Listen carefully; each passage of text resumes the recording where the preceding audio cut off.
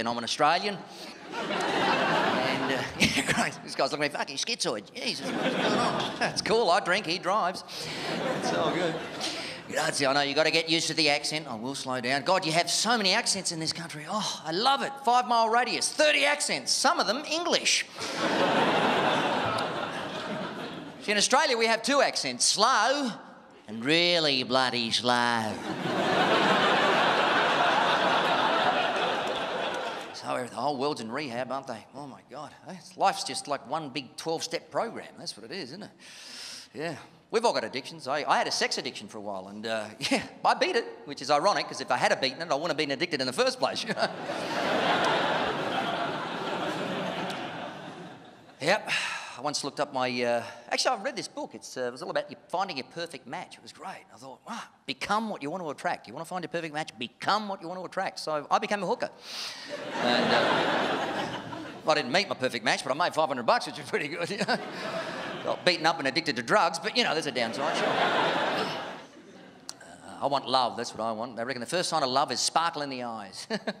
well, a raging hard on's a dead giveaway, too, I guess. Uh, couples snogging, right? Right in front of you. Does that annoy you? It does me. You know, I don't mean the kissy kissy lovey lovey couple. I mean the full on porno pashing. Oh, oh, oh. You know, they know you're there. You know, that's why I put it back on them. I get up really close and go, oh, you make me so horny when you kiss it, baby. oh, I like it a lot when you do the kissy kissy. Oh, that made me so horny. Oh, you mind if I join in? I give you a massage. like Hollywood movie, you get happy ending. Try it, it's a lot of fun. Until they kick you out of the hotel room, then it gets a little socially awkward, but uh, very socially awkward.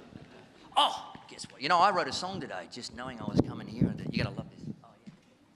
Little uh, blues number I wrote, and uh, goes something like this.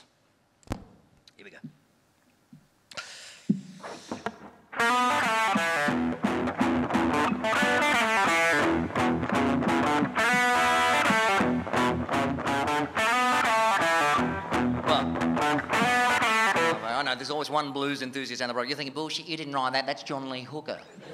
Uh, close, John Lee Hooker. If you had noticed, I went. I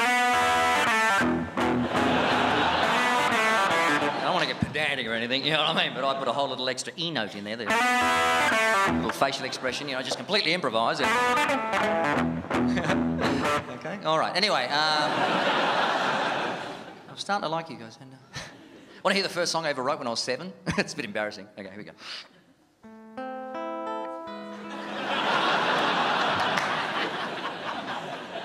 Piss off, I was seven, mate. You write something better. Can you play guitar? Yeah. Okay. 60s, I reckon, was a great time to be muso. Oh, the 60s was all about the lyrics, wasn't it? Eh? You could get away with anything in the 60s because everybody was so high on drugs, they just thought you were being profound. I mean, if you listen to some of the lyrics, you know, in the winter time, brown and the wind blows, I stay inside. Don't go outside. In the winter time the leaves are brown,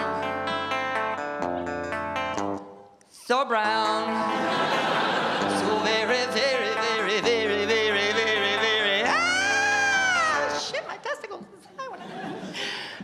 are on the ground with the leaves. About another half hour.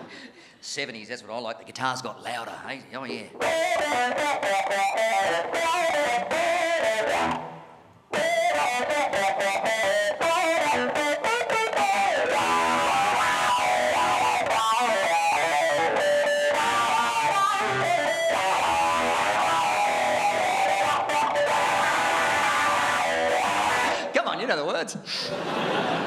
No? Okay. Just the women? Okay. Jimi Hendrix didn't even know the words. I reckon that's why he took so many guitar solos. You know, he'd be like, Well, I stand up a mountain.